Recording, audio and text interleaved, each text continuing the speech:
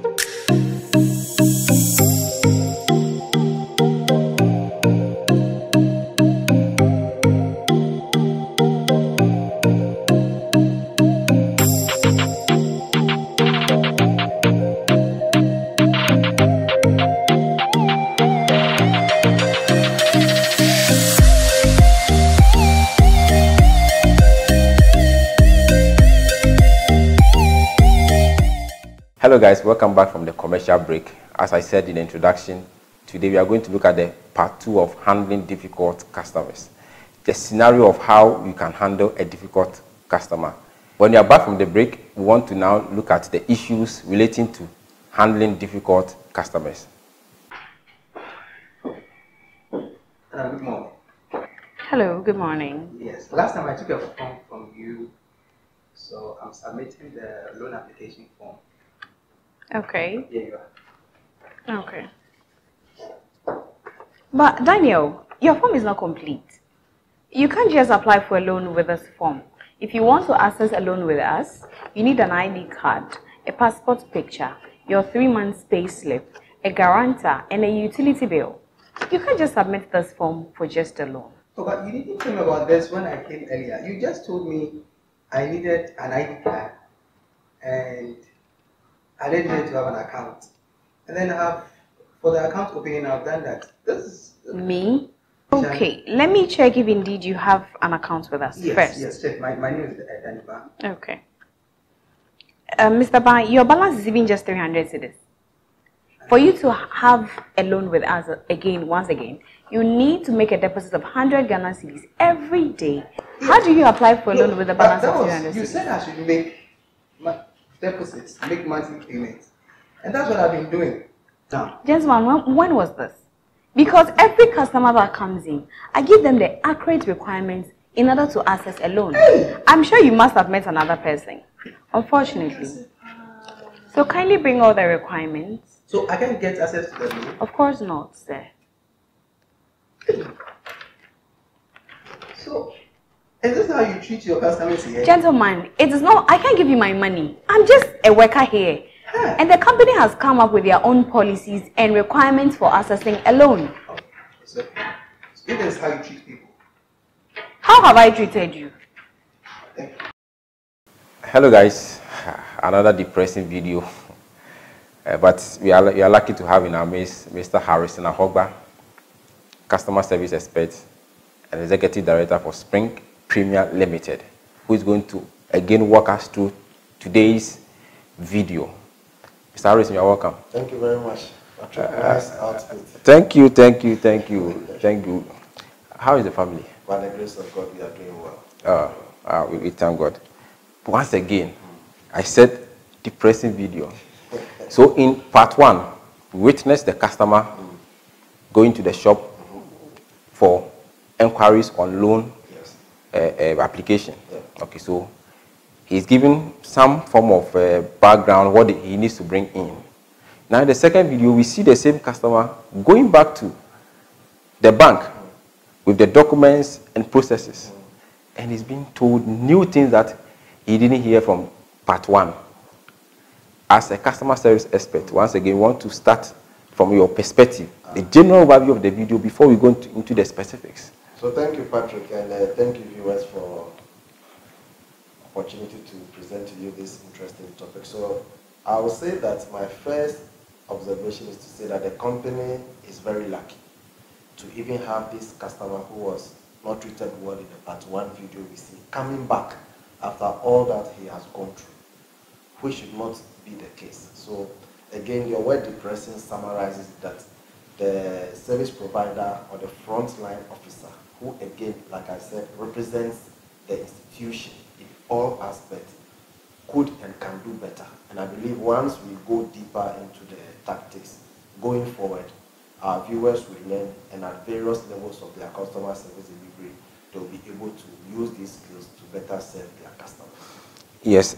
The, the first thing I picked from the video is that I, I feel the customer service person sees the customer as, I don't know, someone that he's rather doing a favor. That is it. So, like I mentioned, and uh, it's interesting for us to know and accept that customer service delivery, if you flip it, it's either you are receiving it or you are giving it. Okay. So always put yourself in the shoes of the customer. Mm-hmm. We would also say that the customer is rather doing us a favor Favor. by coming to our shop because he or she has options. But the customer needs the loan. He needs the loan. No, that is why at the first time of engaging the customer, there's this thing that we believe and we teach in our our, our training that once you win the customer, you have to win him for life 360. Okay. So once the customer walked into your space, whatever space it is, use every opportunity available to win that customer. Okay. So that if you have told the customer A, B, C, this is how it is done, this is when it will be delivered, this one cannot be done. The customer is clear in his or her mind what it's going to do. Reason is that now we have competition. Okay. The competition has moved beyond brick and mortar to technology. What if the particular industry we are talking about is, is a form of monopoly? Good. What happens? Because yes, when there's competition, mm. there's that fear. Mm. But in a sector that is monopolized, mm. how do, do you advise customer service So- persons to approach their customers? It's interesting you use the word monopoly. You and I know that in some few years back, most of our institutions, especially the financial institutions, were enjoying some form of monopoly. Yeah. Then you could say that NIB will say, I'm the only bank that's I'm into investment banking. ADB will say, I'm the only bank into uh, agricultural finance. Yeah. But it has changed. So you might be having a monopolistic power now, but with time, it will just shed off. So you better have to adapt and do that quickly and see where you are going to be. So let me give you a typical example. You've heard a story when we were all growing up. One of the most common phones we all saw was Nokia. Okay. Where is Nokia now? One of the things we had in the past was Walkman, where you could put an earpiece with a cassette and Where are they now? So if you say you are, you have your strength in a particular space, very soon you will lose that strength. That is why it is important that anytime a customer comes to us, we look beyond what we have even promised to do and see other ways of taking feedback Okay. to better improve our service delivery. Okay, so now let's go into the video itself. Part one, you gave us some pointers. You said one, you should listen, build rapport with empathy, lower your voice, Yes. assume others are watching, Good. know when to give in. Yes. Now this is part two. Yes. The customer is back. Yes. The first point you gave me before uh, tonight's session was that never get angry. That is it. Most of the time when customers come and they are giving us feedback about their frustration, their inability to access a particular service or any other thing that we consider difficult, we get angry. Okay. We expect the customer, so we go and say that, and this is how it has been done. Why are you uh, shouting? If you rather get angry for someone who pays your salary, then the point is that you are not at the right place. So you don't even have to be angry. And here, I'm not saying that don't express your side. It's about how you say it and when you interject. So if a customer comes and is saying, I did not like the way you spoke to me, you told me to bring this, you told me to that, and you rather be angry with the customer don't you know that when you are going to apply for it, you need two passport size pictures? No. So anger doesn't play at all. Sometimes we get so upset. We should be able to distinguish between if a customer walks in and he or she is angry or is upset. Okay. But in between the line, you still have an opportunity to get something from that customer and change the story around. If you apply the things we said earlier, just listening, just trying to understand and building rapport with the customer, you will not have to express any anger, but you'll be able to calm the customer down. In the same video, the second video, Yes. it appears the customer service is taking the matters personal. You are saying that never take such a scenario personal. That is the, the feedback the customer is giving you out of frustration. It is not about you, the person. It is it largely about the processing the systems. So Okay. like it could surprise you that the customer service person we saw in the video might not have been properly oriented in the company about how things are done. Okay. So he, she lacks that gap of knowledge. She has that gap in knowledge. Okay. So what now she, what she's told is what she's doing, or what she might have observed when she came over Okay. is what she's doing. Okay. So now that when the person says that I don't like this institution, this is how you do it, then you're like, Madam, please don't talk to me like that. Don't talk to me like that. This is not my company. I came here to work. If you have any problem, go and talk to management. So the question is, who is management? So if you take it personal, you think the person is attacking you, but rather take it as if the person is giving you a feedback so that you can improve your process. It could be communication, it could be timeliness of delivering the service, and it could either be about a system failure that is affecting your service delivery. Okay. The third thing you, you, you gave me was that remember you are interacting with humans. That's it's a very big point. You know, all of us are under one form of pressure or the Yeah. other. We are all human beings. We are not dealing with machines. Okay. People leave their homes with a lot of physical, emotional, spiritual, a lot of things going on in their mind. So if such people walk into your space, whether you are selling watch, whatever thing you are doing, think about it as you are dealing with a human being. And like I said earlier, at another point in your life as a service provider, you'll be at the receiving side. Okay. So assuming this is a customer who needs this loan to go and clear or expand a business, and his hope is on the loan, and you told him three months time he should come, and Okay. he has saved religiously towards the loan. Now he comes and you are telling him that he needs to provide another thing, this, that, before the loan can be disbursed in the next three months. He has lost six months of business. And if that loan also depends on his ability to pay his rent, children's school fees, you don't expect him to take it lightly. And Okay. if you are dealing with humans, you should be sensitive to know that there are emotions involved.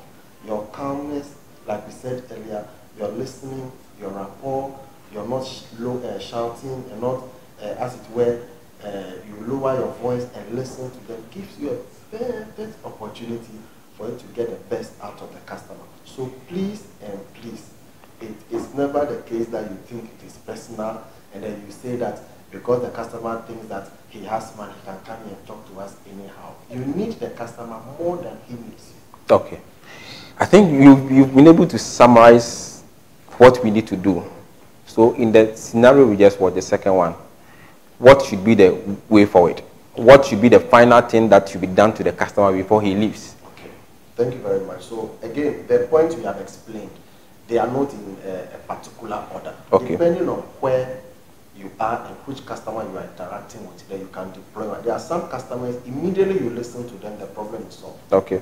There are some when you listen to them, it is not solved. They will Okay. shout. Okay. There are some, even when you empathize with them, it will not be solved.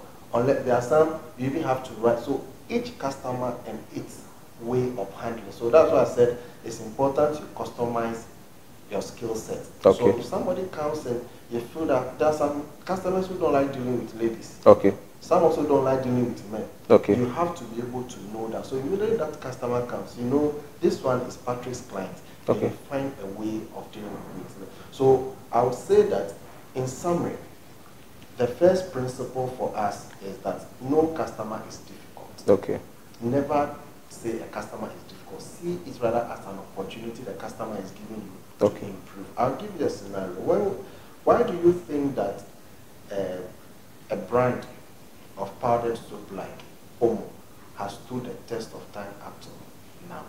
Ever since we were children, we've all heard of Omo. There are other powdered soap in the industry. But if you send your son now to go and buy powdered soap, most of the time you say, go and buy me Omo. It is because with time they have been able to understand the feedback from the market and they have inculcated it into trends so that now when you go and buy Omo, you see blue, white, and other things because that's what competition is offering. If you consider the complaints of your customers as difficult, then you will not improve. And by the time you realize somebody will do what they are complaining Yeah. about, and you will be taken out of business. So it's important for you to take feedback not as a difficult situation, but something positive to help him. So I believe the video we have watched, the viewers will learn a lot and you have an opportunity to watch Patrick TV again. Thank you very much, Patrick, for the opportunity. Thank you, Harrison, for your time. It's always a pleasure having a discussion with you. You. US, finally, we are concluding on handling difficult customers. I believe you have learned a lot listening to customers.